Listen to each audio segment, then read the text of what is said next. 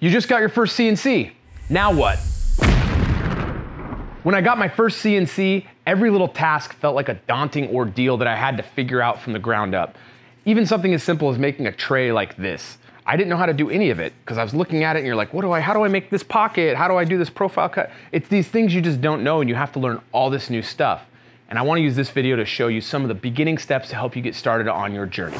Assuming your CNC has been set up according to the manual, the first thing you're gonna wanna do is flatten your spoil board.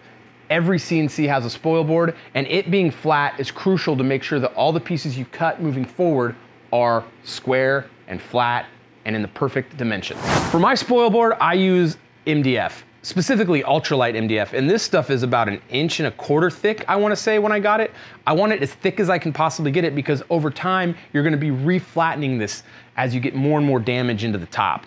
And if you have a thicker piece to start with, it's the less amount of times you have to swap out the material. This is an extremely exaggerated example of why a spoil board is so important. But let's say this piece of MDF was not flat by this much and your bit comes down and it starts cutting and it stays on the same height.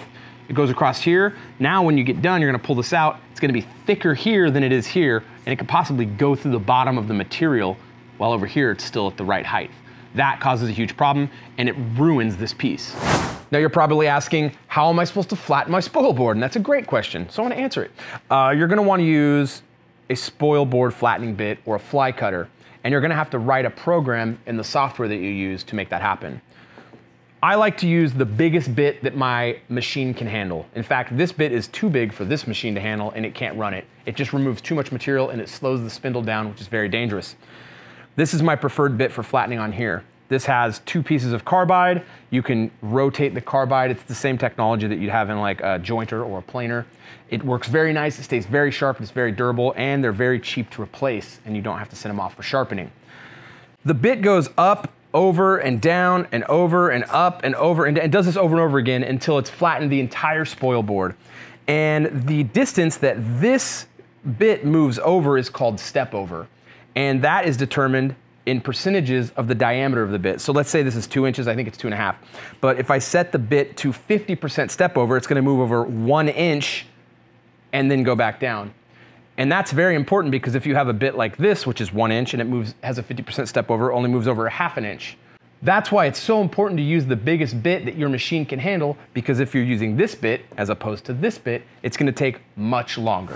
Something that's very important to note about CNCs is that they will only do exactly what you tell them. Nothing more and nothing less. So you need to make sure and not assume that they will know what you're thinking because they don't.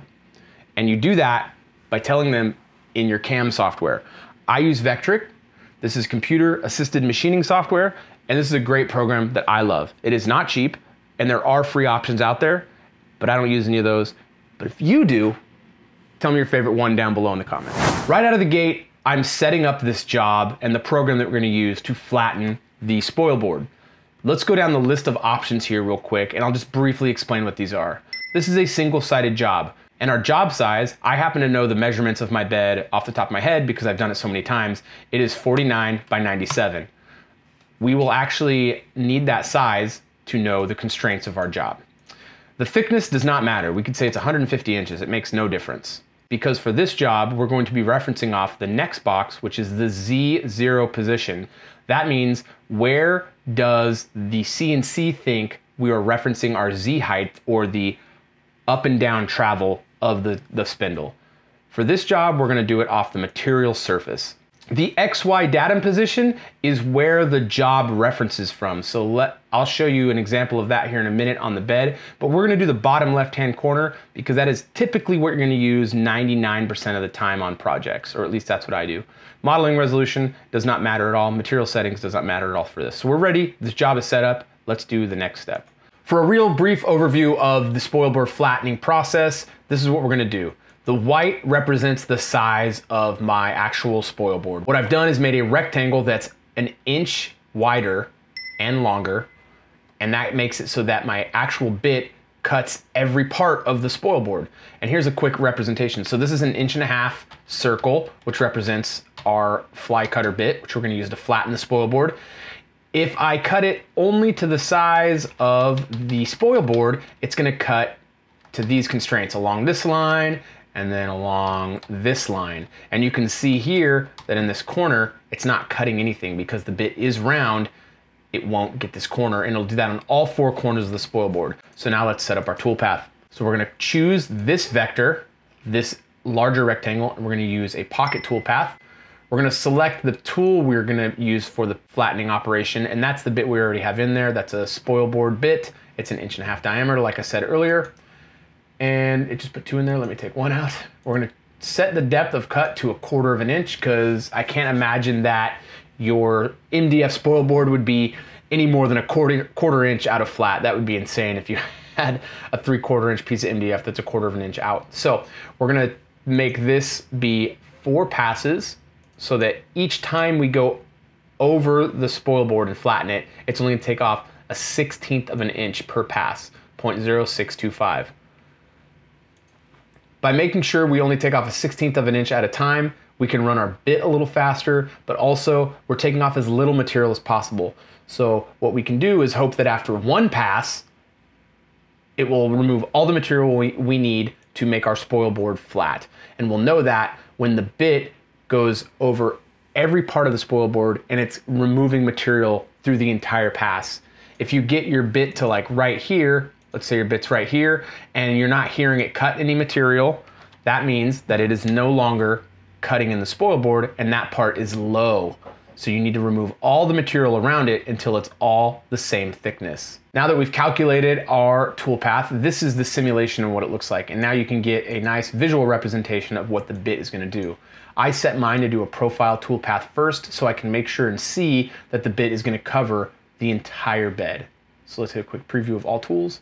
So it's doing the profile pass and now it's going up and down on a 90 degree raster and it's going across the entire bed. If you get through the first pass and it's cut material off the entire face of the bed, then you can stop your job and your job is done. But if you need to keep going, do this as many times as it takes to remove material down the entire pass of the bit. Now that you've flattened your spoil board, let's talk about tooling. One very important tool outside of the cutters that you're gonna wanna invest in is a nice set of digital calipers. We're in the world of thousandths now, and it's really important that you know the thickness of your work pieces. Outside of that, let's talk about cutting tools. The bit I used the most when I first started using my CNC was a quarter inch downcut bit. And it's a downcut bit because it spins this way and it pushes the chips down. This is an upcut bit. Obviously, as I'm spinning it, it's pulling material up and out and ejecting chips out of there. Because you're ejecting the chips out and getting them out of the way quickly, you are actually able to move this bit a lot faster because it's not pushing against any chips or wood debris that's in there because it's been ejected out really easily. You can, these bits are really good for finishing work or for cleaning up a profile because they can remove material out of the cut really nicely. This is a compression bit. This is a combination of a down cut on the top and an up cut on the bottom. And you would use this when you're cutting through material. Imagine this is a piece of wood, it's spinning like this it's pulling up on the bottom and pushing down on the top. And you'd want that because you don't want the bottom of your material to blow out. So by it pulling up, it helps keeping it from blowing out. The next bit you'll want in your beginner kit is a 90 degree V-bit. Obviously, it's shaped like a V. That's why it's called a V-bit. This gives you a nice 90 degree cut here. It's nice for details, for signs, for carving out letters. A lot of different softwares have the ability to carve lettering in there. And actually, what happens because you have a round bit, when you get to a corner, it's a rounded corner because it's a round cutter. What's nice with a V-bit is in the software, it'll come to that corner and pull it up like this and it makes it look like a sharp corner. It's really cool. These bits I used a lot when I started, but I don't use them as much anymore and I'm not really sure why now that I think about it. I think it's just the matter of what we make here. But with these bits, you can get a bunch of different degree shapes. I don't know what you call it, you can get them in a 90 degree, a 60 degree, a 45, a 30, a 15. They go up to like three degree uh, V-bits and it's really cool what you can do with some of the lettering on them. We've already discussed this bit, but this is my fly cutter that I used to flatten the spoil board. We only end up flattening the spoil board like once every six months. It's just not something you need to do that often, even with as much as we use our machines here. What I do end up using this for is slabs. I flatten a lot of slabs and this thing is great for it. It's got these two cutter heads, you can rotate them. They work great. It's just a blunt cutting machine and it works perfectly. It makes a perfectly flat surface and it's easy to sand the finish on it. This is a great tool. A lot of machines, a lot of CNCs probably can't run a half inch collet. A lot of these more entry level machines can only run up to a quarter inch collet. So I'll put a link down below for a good slab flattening bit that'll run a quarter inch collet. Earlier I mentioned that making something as simple as a valet tray can feel daunting when you're first getting going on the CNC. We're gonna make one real quick. I wanna show you how simple a process like this is and when you look at something or see something in your head that you wanna turn into a real piece, how you can start from something in your brain and turn it into a real functional piece. What's really cool about some of these projects on the CNC is that you can just use random offcuts. I took this piece of English elm and I jointed it and planed it. Its thicknesses, I wrote down here, 0.65 inches. Doesn't matter how thick your piece is, you can adjust that easily in the software, but we're gonna try to make a one or two of these trays out of this piece of wood and this is seven and a half inches wide and 19 inches long, and it's 0.65 inches thick. One nice feature on the valet trays is this radius on the inside. It's really sweet because you can pull things out of here like coins or keys or whatever you've got in here, but you can't attain that with an end mill because it's a square bottom, you'll get a square cut like you have on the outside. So what you end up wanting to use is something with a radius bit. This is a half inch ball nose bit, which is what we're gonna use. I prefer these for radius to corners. It's not gonna give us such a dramatic sweeping radius here, but it'll be plenty and it'll work great for a little valet tray. With our piece in hand and our dimensions written down, I'm gonna set up the job in the software. So our width is 7.5, our length, our height is 19 inches, and our thickness is 0.65. We're gonna set our Z0 position to reference off the machine bed because we're gonna use my other CNC, which really only works off of the machine bed. So let's hit okay here. And we wanna make some little valet trays here. We're just gonna do two, and we're gonna make them like four and a half inches by 7.5 inches. And then we will set those up by putting them in the middle of that and then go right there. We're gonna make our first valet tray and we're going to round or radius our outside corners and we can do that real quickly here. Radius external mobile 0.25. So this is our outside vector, which will determine the overall width and height of the piece. So we're gonna make our inside pocket vector. So we're gonna select that outside one and we're gonna do an offset and that will bring it, we're not gonna go out, we're gonna go in a quarter of an inch and we're not gonna create sharp outside corners. We're gonna go like that. And then we're gonna go in here, select our in, inner vector. We're gonna change that to the same thing, apply. So now we have a matching radius on the inside and the outside. We'll take both of these and copy them and we'll paste them up. Now we're gonna select our pocket vectors and we're gonna do a pocket toolpath and we're gonna set that cut depth to 0.4 inches. And we're not gonna use the spoil board bit. That's gonna absolutely be the wrong tool for this. That's gonna take off too much material. We're gonna use a half inch end mill and that's gonna be this guy right here. We're gonna set this to do three passes for this cut, just so it's more in line with what a uh, an entry level machine would need to cut. So it's cutting 0.13 inches per pass with a half inch bit. So that's gonna do that. We've got, we'll just leave it on a climb cut. We'll ramp that in an inch and set that. And now that we've got our roughing pocket tool path, I wanna add the bit that I'm gonna use to make the nice radius on the inside. So we're gonna select a second bit and we're gonna use this bit right here. Now that we've got our inside pocket toolpaths figured out, let's figure out our outside profile cut so we can actually cut this piece out of the wood. So we're gonna use a profile toolpath and we're gonna cut the 0.65 inches, which is the thickness of our material, so we get all the way through. We're not gonna use a 3 8 compression. We're gonna use a quarter inch end mill. We are gonna use a quarter inch compression end mill so that when we go through the bottom side of the material, doesn't blow out the wood like we talked about earlier.